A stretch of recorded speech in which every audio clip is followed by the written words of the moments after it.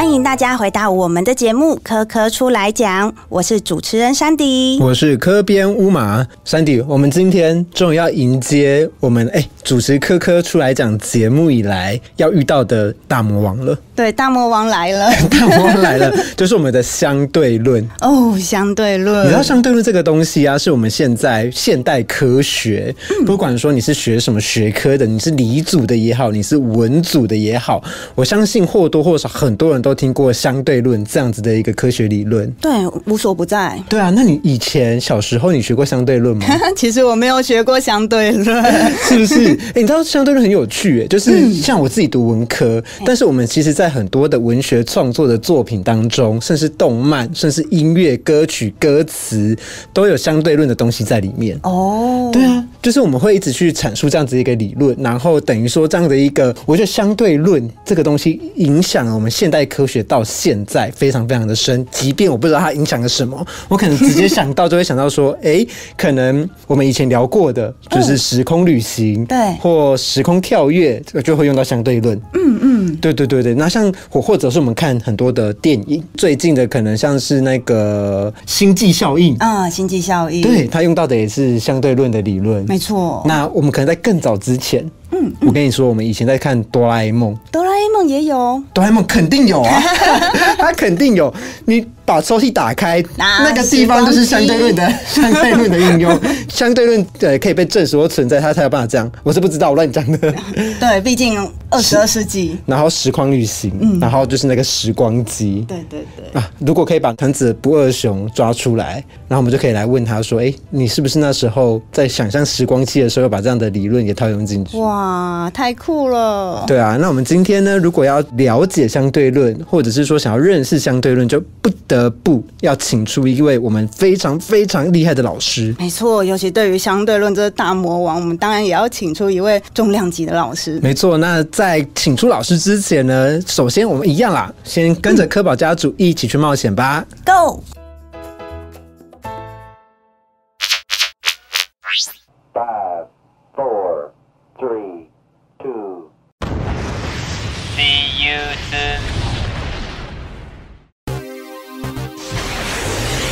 这是一颗从来没有来过的全新星球，不知道在这个星球能有什么样有趣又新奇的旅程呢？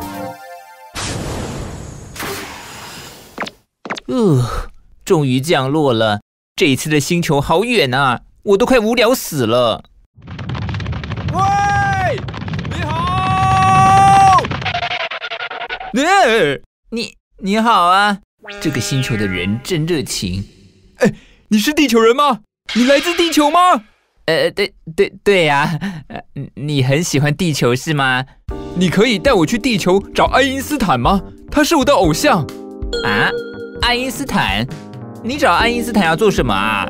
哦，是这样的，我想要做一台时光机，我想回到过去，让我可以救我弟弟。他出车祸之后就没办法走路了，他很伤心，我想要帮他。哦，是这样吗？希望你弟弟可以好起来。但是爱因斯坦已经过世了，哎，啊，呃，怎么办啊？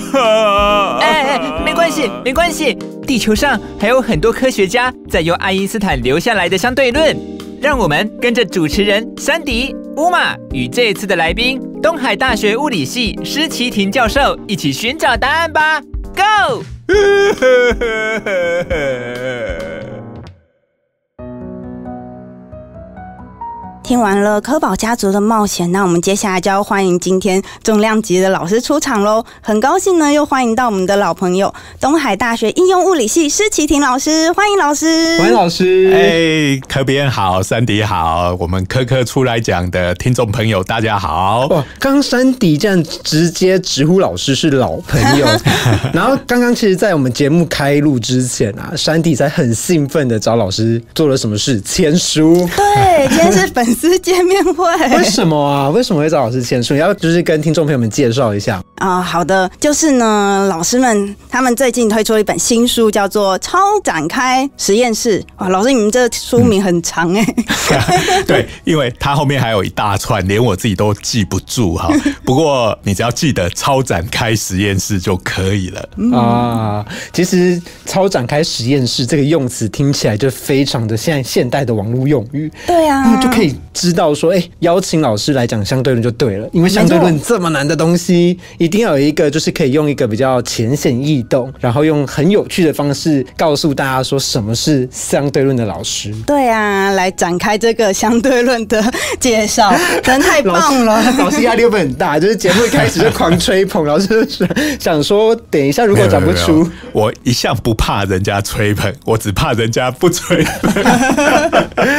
好啦，哎、其实我们刚刚就是在跟老师聊的过程当中，发现老师对于相对论的理解真的是解释的非常清楚。嗯，可以请山体问一下老师，就是关于相对论啊，就是这个理论，它到底是怎么来的？或者是说，像刚才身体其实有问老师，所谓的相对论对，我来我来对，老师，其实一开始听到相对论这个主题啊，因为像我们以前都常常会穿那种什么相对速度之类的，这样子一路训练下来以后，所以听到相对论，我最想要知道是它是相对于什么东西的理论吗？好，哎，这个问题一下子就问到这个核核心心哈。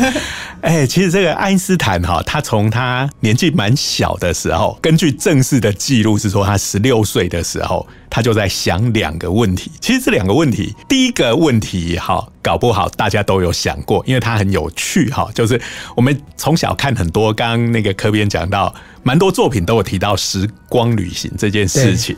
那爱因斯坦他小的时候想的第一个问题就是说，如果我们人类跟光一起跑，或者是我有一个很快的太空船，可以速度非常的接近光，甚至我超过光，会发生什么事情？嗯，那其实这个问题我小时候还真的有想过哈，因为我们所看到的东西其实都是光嘛，光进入到我们的眼睛，我们就看到东西嘛。那现在如果从我身上发出一道光，讲的好像我是什么圣人，其实不是啦哈，哎，这个都是反射光哈，光就会离开我跑出去嘛，对不对？对啊，这时候我就赶快坐上我的光速太空船去追我自己发出了光，对不对？对那我的速度如果比光还快，我是不是就可以追上我以前自己发出的光？光好，或者是反射光？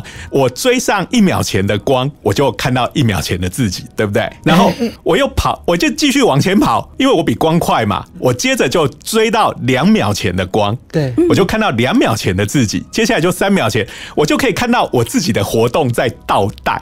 哦，对不对？好，这样想起来，我自己都觉得蛮有趣的。好，我不晓得爱因斯坦想这个问题的时候，是不是跟我这种乱想？好，不过他就是他有说，他就是在想这个其中两个问题的一个就是这个。嗯，那后来哈，我们常常讲相对论，很多人就望文生义说，哎、这个世界上什么事情，不管任何事物都是相对的。对比如说最喜欢讲没有绝对的善啊，没有绝对的恶，什么什么。没错哎但是其实相对论最有趣的地方，他提出有一个东西是绝对的，哦，就是光的速度。嗯，好，很可惜的就是我追过我自己的光，看到我自己的倒带这件事情是不可能的。啊 就是所谓的光速是绝对这件事情，就是说，哎、我们都知道光是一秒钟可以跑三十万公里嘛，对好，所以我要去追我那个光。对于静止的人来讲，光速是三十万公里每秒，但是我即使是以秒速二十九万公里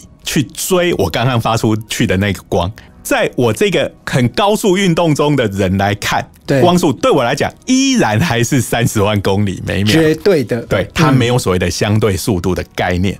那这件事情其实是一个物理理论上的结果，只是今天我又没有黑板，也没有投影片，因为我们是 podcast，哈，这个理论我不能在这里导公式哈，而且一导公式，所有的听众就都全部跑光了，对不对？好，所以就请大家姑且先接受这个事实，而且它经过很精密的实验也证明了，虽然它非常的奇怪，大家一想，对。不对？对。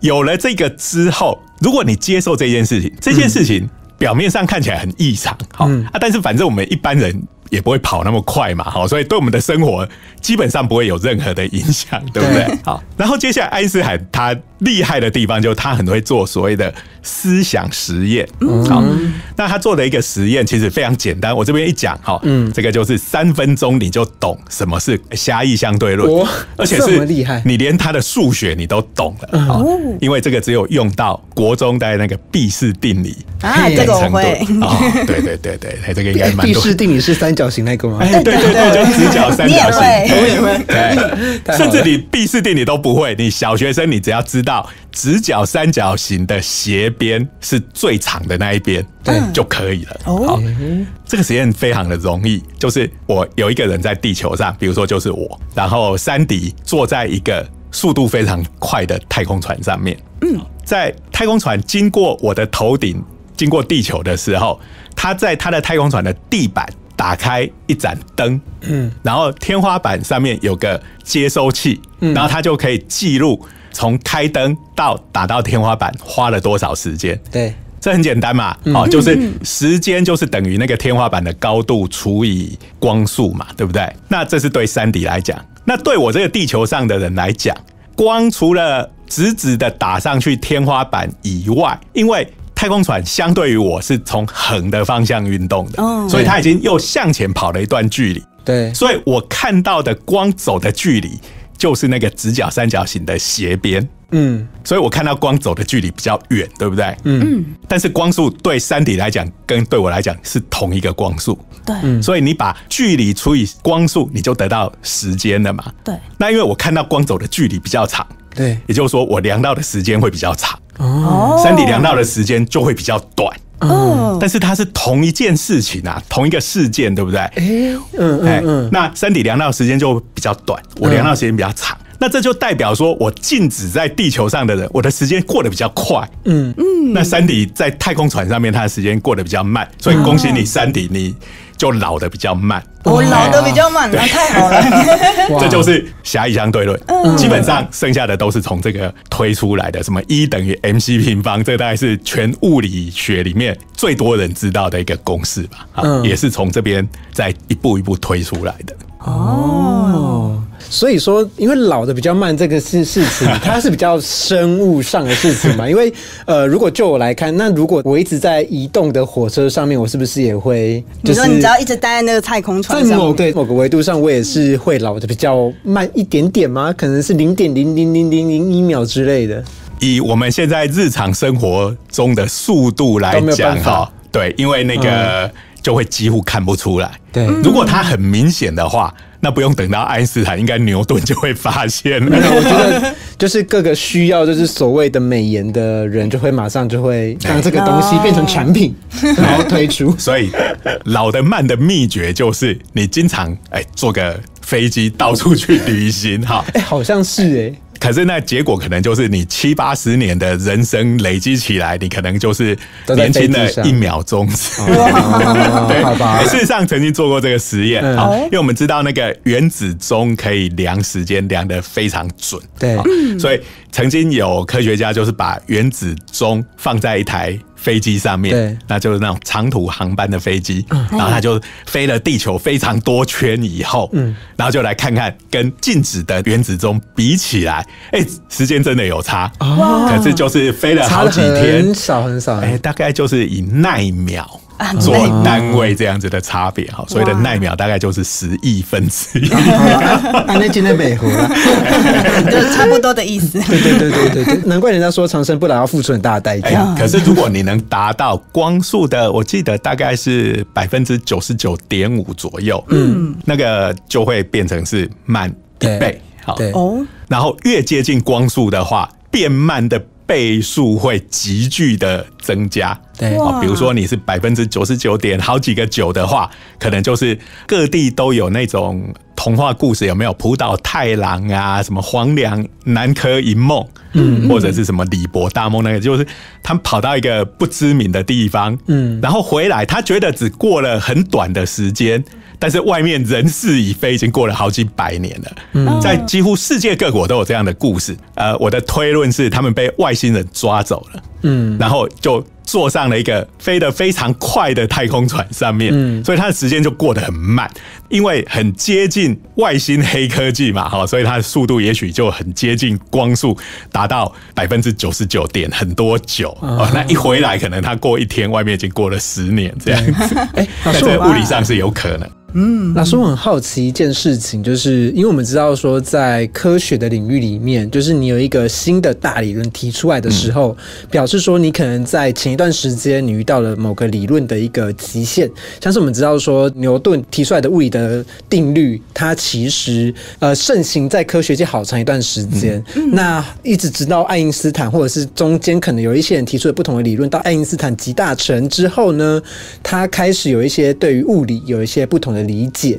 那那时候相对论会提出来，它是为了解决什么样子的物理学上的难题呢？或者是说那时候的大家探究到物理学的什么极限，而有相对论的产生？好，刚才我们讲的那些，可能他并没有一开始有一个很明确，他想要去解决那个问题。好，他只是说，哎、我有光，然后从我们对光的理解。到底会得到什么？哎然后就发现，哎、其实如果我们是从电磁学这边下去着手，因为光是一种电磁波嘛，哈，其实，在古典电磁学，也就是比爱因斯坦还早个好几十年，就我们讲那个马克思韦那个电磁学的方程式，其实已经隐含了电磁学跟牛顿的力学是不相容的这一件事情哦啊。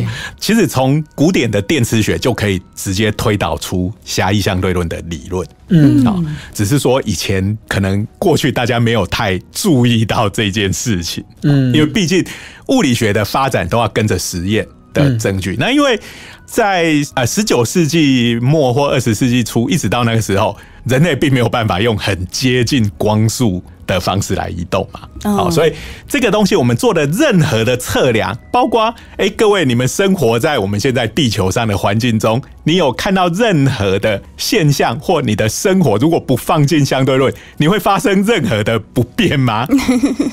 不会应该是没有嘛，那就是因为我们日常生活中，你看我们最快的东西，也许就是太空船。对哎，讲到这个，之前台湾。我们太空中心也成功的在屏东的那个旭海发射了我们自己的火箭，哦，这哇个很值得开心的事情。大概就是火箭或太空船从太空要回来的时候，那个可以达到音速的二三十倍这样子的速度，那就真的非常快。但是即使在那样子的速度底下，你如果不用很精密的仪器，你也不会察觉有这个相对论效应。嗯嗯，所以在那个年代来讲，其实就是因为没有直接看到实验上的矛盾，所以并没有说啊，我有一个实验上没有办法解释的现象，所以我要去弄这个理论出来。好，它比较是像比较从纯的理论那边过来的。哦如果是这样子的路径，大家就会觉得这个科学家超天才的，对不对？因为所有的东西都是他凭空想出来对的。对啊他不是依附在什么理论上看到什么问题而提出来，而是他自己想到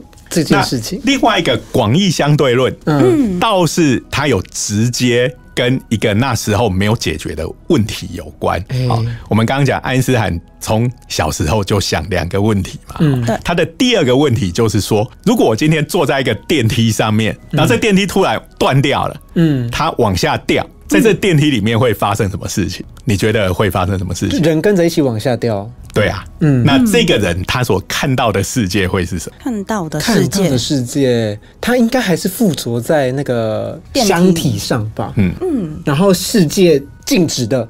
嗯，静止的吧，因为它只能感觉到东西在往下掉，可是旁边的东西不会动啊，除非它可以透视出去。就一起往下掉了吧。对对对，你已经相当接近那问题的核心了。哈、嗯它其实就是我们东西往下掉的时候，哎、你们有没有去那种游乐园做过那种自由落体对，的设施？超刺激消耗的。飞鹰，对对对，其实就是那种感觉嘛。基本上你就是要体验那种自由落体的感觉。对当你真正是一个自由落体的时候，呃，你就会进入一种无重力的状态。嗯，我们以前都有学过，电梯从静止往上加速，哎、我就会觉得我好像被往下压一样。嗯嗯，事实上，你如果下次坐电梯带个体重计进去，你就站在那个上面，你是真的可以量得出来那个体重是有变化的。真的啊哎，往上加速的时候你会变重，但是在它要比如说往上的时候，然后要停下来的时候，你就会觉得你稍微有点变轻，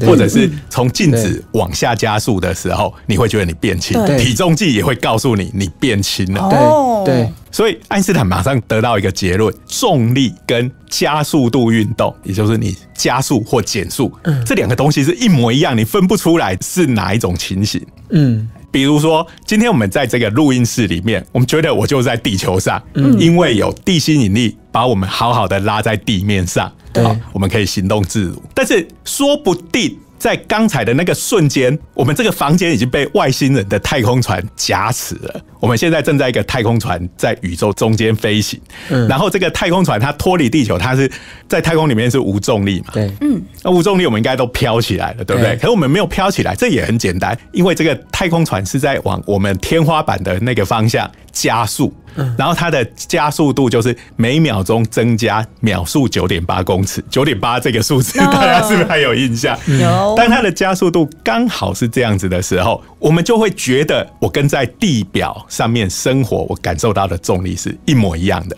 哦，它窗户不打开，我们都不会发现，其实我是在太空船里面飞。嗯，这个就是整个广义相对论的基础。然后他就很简单的做了一件事情，就是我们在加速中的太空船，我从这次换科边好了，你拿起一个手电筒，嗯，朝着你面前的墙壁射出去，嗯，对于太空船外面一个静止人来讲，嗯，这道光是走一直线的嘛，因为光只会走直线，对不对？对。嗯。但是对于我们在太空船里面的人来讲，因为我们整个是在往上加速，对，所以我看起来，因为光打到对面，本来应该在同一个高度的地方，但是我们的地板一直在向上加速，对。所以它会打到的地方，我们就会觉得它打在墙壁上的位置，其实比你射出去的高度要低一些。嗯嗯嗯，然后爱因斯坦就说，光在加速度的太空船里面弯曲了嘛？那因为你分不出加速度跟重力这两个的不同，所以光在重力底下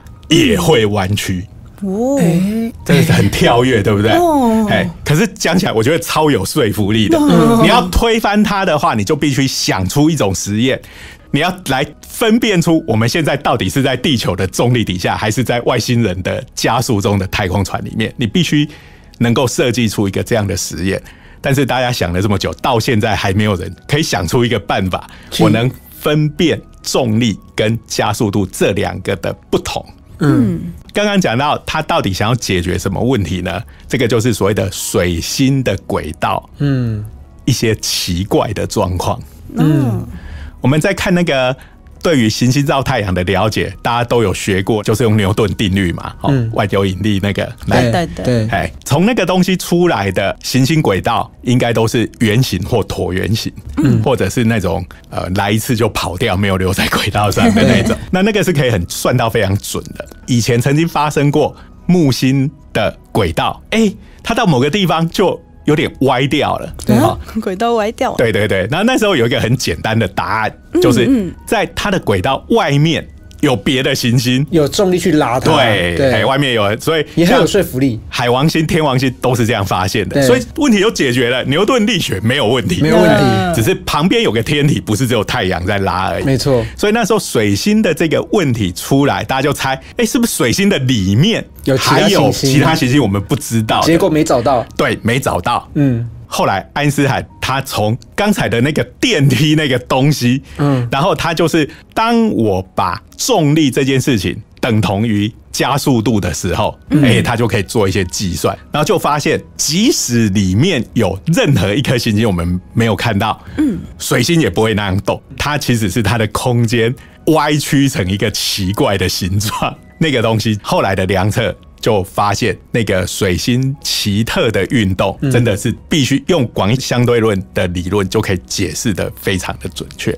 简单来说，老师刚刚说的空间的歪曲，我们可以把它想象成说两颗球放在一个平面的布上面，对对对，然后这个布它有一颗球，它凹陷进去了，那它是顺着这个布的轨迹在转动，对对对。而不是说有个东西去拉着它，让它去按照我们原本想象的轨迹去转转是动这样子。这个是我们常常拿来解释广义相对论的一种图像了哈。嗯当然，因为我们人没有办法看到四度空空间的东西，所以我要看到那个弯曲，就必须用平面来解释吧。像刚刚你讲的，其实我们是把整个空间当成一个平面，对对对对然后有个重力让它像弹簧床一样凹下去这样子。哎好像也只能这样理解。对啊四度空，我们刚才讲到是四度空间吗。嗯，周杰伦有首歌叫《八度空间》，八度这就 更难想象了。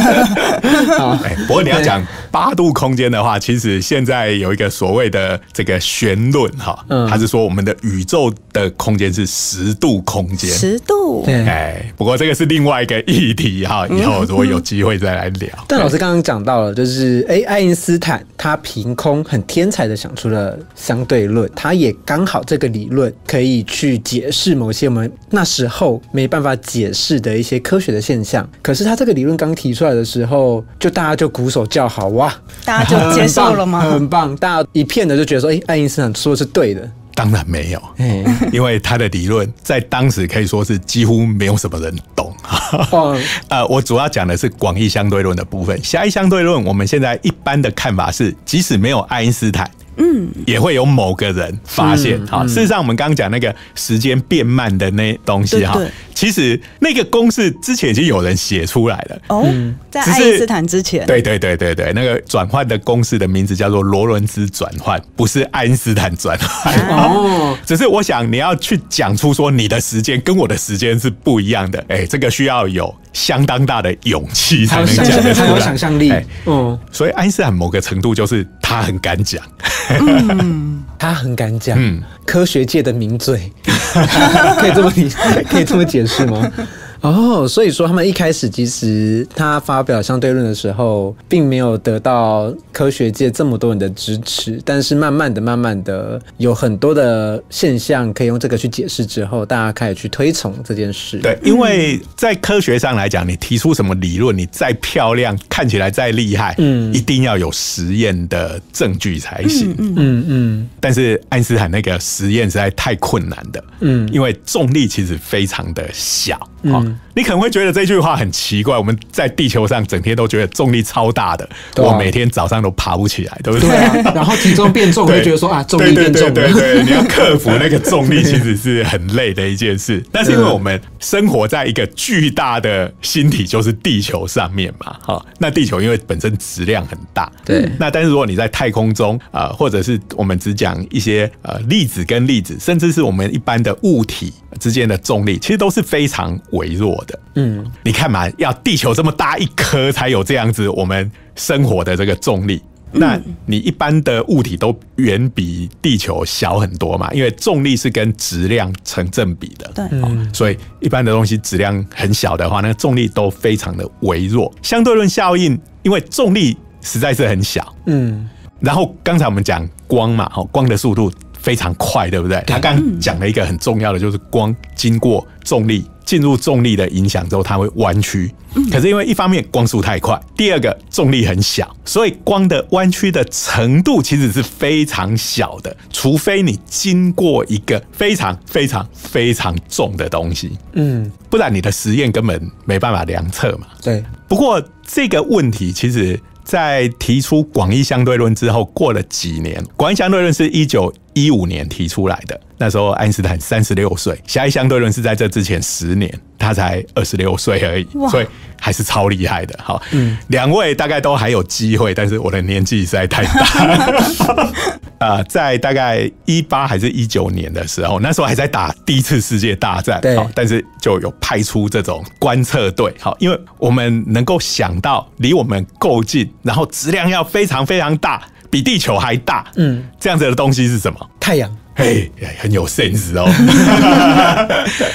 他的想法是怎么样呢？假如我们已经知道某一颗远方的星星的位置，嗯，这个星星的光线，如果这个星星刚好在太阳的背后的话，我们跟它连成一直线，嗯，那太阳刚好挡在中间，这个星星我们就看不到了，对不对？因为被遮住了嘛。但是因为广义相对论的效应，它会让光弯曲，所以这个光可能会以一种擦边球的方式，它经过太阳的边边的那些光，它又被太阳的重力往回拉。然后可以到得了地球，我们就看得到那颗太阳背后的星星了。嗯，他的这个想法就是这样，这个东西叫做重力透镜，重力透镜，因为它就是会让光偏折，有点像透镜，也是利用光的折射。好，那它只是是因为重力，它本来应该是要远离我们的光，哎，又被太阳的重力拉回来，这样。嗯，这想起来应该蛮容易的啊。嗯，可是大家不要忘记，你要想。太阳的光亮的不得了，对不对？你一天上有太阳，星星在后面，你怎么看得到呢？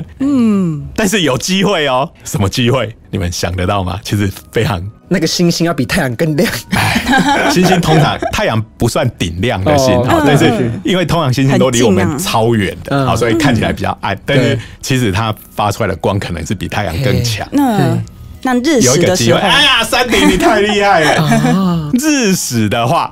我们用月亮来遮住太阳光，嗯，然后这时候那颗背后的星星的光如果有弯过来的话，嗯，哎，我们如果有看到，就代表相对论是真的。哦，哎，对，真的看到了，就这样就看到了，好，所以大家就相信。相对论应该是对的，好，因为它本来应该是看不到嘛。你如果要说相对论不对，你就要把所有过去对天文学那些观测的资料，你要把它整套通通推翻。大家想这样实在太累了，我就接受相对论。哎呀，看来科 科学界跟那些就是大公司有没有很难改革？没有，应该是说状况是一样的。我们会采取这个最短路径解决嘛。嗯一个就是你要。把过去几百年累积的天文观测全部都否定掉，提出一个新的理论。一个就是你就接受相对论，那 包括过去那些东西，两个是可以相容的。那么就采取比较简单的这种解释。对。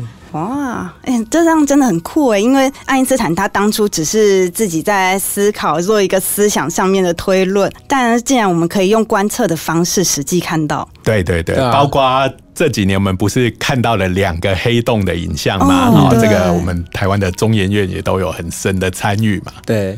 这个其实你看，经过了一百多年了，我们还是在持续的验证爱因斯坦的理论。到目前为止，我们所看到的跟爱因斯坦的理论其实都还是符合的。嗯，哎，老师，我一个很好奇的事情，就是老师刚刚在提相对论的时候，不断的在强调重力。与加速度两个概念，那我们大概知道说，哎，我相信，即便不是学科学的人，或者是不是个科学宅的人，都会有看过一个公式，叫做一等于 mc 平方。那这个公式到底是怎么回事？我觉得这个东西变成说，我甚至相信世界上一定有很多人把这个当成刺青刺在自己身上，它已经变成是一个符号了。对，那一等于 mc 平方，它到底是怎么样子的一个公式呢？它是这样，它就是我们每个礼拜一早上起来要上班，不都觉得很。累嘛？对，这时候要喝杯咖啡，对不对？那那个 M 就是 milk，然后 C 就是 coffee，要双份咖啡，这样 你就会觉得超有能量。哦，其实不是这样，这是一个能效。我以为老师在用比较简单的方式解释。好，那这个东西其实是它是属于狭义相对论那个部分的结果。嗯，就是我们刚刚是不是讲到说？光速对我们来讲是绝对的，也就是我永远都追不上光。好，对。那它那个公式里头还有一个非常严格的结果，就是说，因为如果你的速度超过光速的话，你量到的很多时间啊、长度啊，都会变成所谓的虚数。嗯，虚数就那个负一开根号，有没有？嗯，好，那虚数是一个不存在的东西嘛？我的实际上能测量的物理量，像时间。长度这些东西绝对不可能是虚数。嗯嗯，但是我们又可以想，哎，那你不能追过光速。可是如果我把我的火箭，只要我的火箭引擎还有燃料，它在那边喷的话，我的速度其实是可以一直增加的。嗯，对，对不对？加速。那照道理讲，我火箭一直喷，我就可以一直加速。我总有一天。应该可以超过光速才对啊！啊，因为我们都有算过牛顿的一个公式，叫 F 等于 ma，有没有？我只要加维持固定的加速度，对，事实上我的速度应该是没有上限的。嗯，可是，在爱因斯坦的公式里头，他就会得到一个结果，就是你拼命的烧你的火箭，但是在速度越快的时候，你要继续加速的难度就越来越高。哦，这样子要怎么理解呢？比较简单的一个方式就是说，当你速度跑很快的时候，你的质量就增加了。然后，当你的速度万一真的达到光速的那个瞬间，你的质量会变无穷大哦。啊哦那或者是说你很接近的时候，你的质量就会很接近无穷大。嘿，质量越大，就当然越难加速嘛。嗯嗯，可是你就想，哎、这样也很奇怪。那我这样子，我的火箭不断的喷，我那些能量到底到哪里去了？嗯，那就想嘛，那些能量一直喷，应该要给你这个火箭越来越快，对不对？对可是你变快的程度不如预期，反而是你的质量增加了，那他就得到一个结果，哎、这些能量就变成质量了，哦就是这样。能量它没有让你继续加速，而是它把它变成质量了。所以这边刚才山迪听到那个可以延缓老化，对这件事情，你觉得超开心的，对不对？可是它的副作用就是你的质量会增哦，你加会。变重哇不要，哇！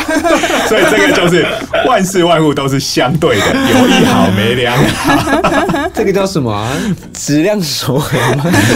所以现在变成职能守恒。哦，职我们能守恒以前比如说高中之前学到的物理，嗯有两个很重要的，一个就是刚才科比讲的质量守恒，对物质不能凭空被创造，也不会凭空消失；一个就是能量守恒。但是有了相对论之后。这两个合并成一个，就是职能守恒。哇，就是质量是能量的一种形式。嗯，你光看质量，它是可以消失的哦。事实上，我们的核电厂或者是核子武器，它们威力这么大，就是因为在这整个过程中不断的有质量在消失。像我们减肥一样，那因为一 E 等于 mc 平方，那 c 很大嘛，所以放出来的能量就非常的多。哦，它质量减少，放出能量，所以这个所谓的职能守恒还是成立嗯。哎，哎，老师，那刚刚有讲到这加速的概念，那我知道有一种粒子的加速器。那粒子的话，它的质量很小，那只要我们质量够小的话，会不会它到时候质量就不会变得无穷大，我们就可以突破呢？因为这些粒子本来质量是非常小嘛，那事实上，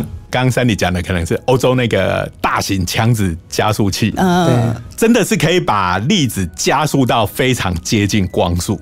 嗯，但是因为它时间很短，它质量的确有变大。但是你想嘛，比如说电子的质量是九乘以十的负三十一次方公斤，嗯，你就想你要零点后面要写三十个零才会出现那个九，嗯，好，所以是非常非常小。它的质量就算大个一百倍、一千倍、一万倍，还是还是很小嘛。哦但是那个时候已经非常接近光速了。嗯，碰撞之后，它能量就非常高，因为它们能量非常高，我是不是两个粒子对撞？对撞的时候会减速嘛？那这时候减速的时候，粒子以接近光速对撞。减速那些能量怎么办呢？